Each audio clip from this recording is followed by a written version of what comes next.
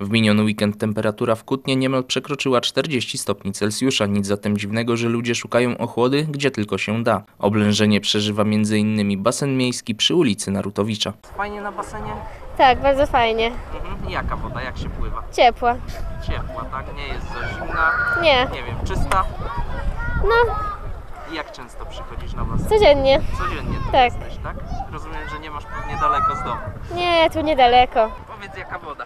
Ciepła. Ciepła, tak? Fajnie jest. A w taki upał jak dzisiaj No, przyjemnie pływać. idzie się ochłodzić? Idzie.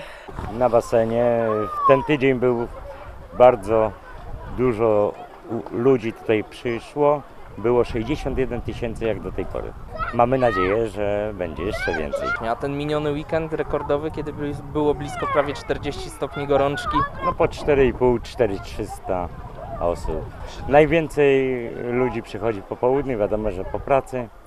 W weekendy wracają z jezior, przychodzą. Upały nie zamierzają się szybko skończyć, a co za tym idzie, także dzisiaj na basenie jest dość tłoczno i będzie tak zapewne w kolejnych dniach. Według prognoz długoterminowych upały mają utrzymać się aż do 23 sierpnia, a jedynym pocieszeniem jest to, że nie będą już tak ekstremalne jak w miniony weekend.